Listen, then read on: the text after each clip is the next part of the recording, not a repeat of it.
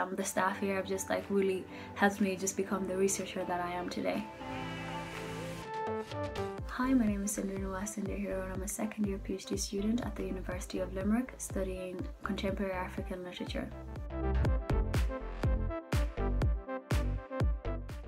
I chose my course of study in regards to contemporary African literature after I had actually completed um, this module in fourth year called Contemporary African Literature and I had just been in love with all of the theories and the concepts and I really just wanted to explore that more so I did my MA in that and then I'm just continuing on with my PhD.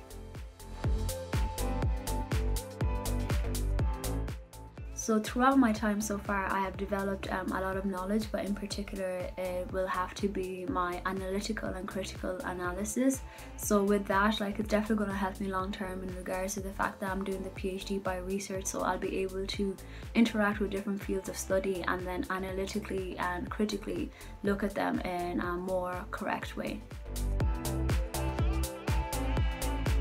I have been able to adapt that into my research so such as just like with time management where I'm able to like look at a piece of um, literature or like a journal and just um, analyze that correctly and just know exactly what to take out what not to take out so it's definitely helping me become a better writer and a better researcher. I tutor um, through different modules throughout the semester. I am able to talk through the students within the different theories and concepts that they might have not understood. So I've just found that so beneficial because this will help me in the long term when I am looking for a job as well and becoming a lecturer.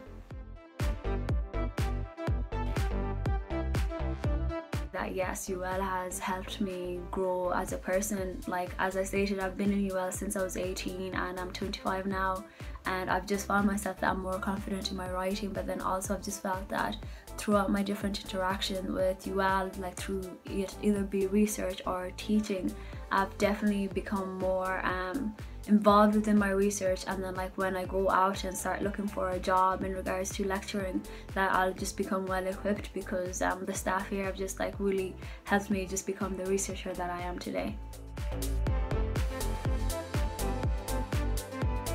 My future goal is just definitely to finish my PhD in the next two to three years and um, just apply for lecturing jobs in contemporary African literature or post-colonial.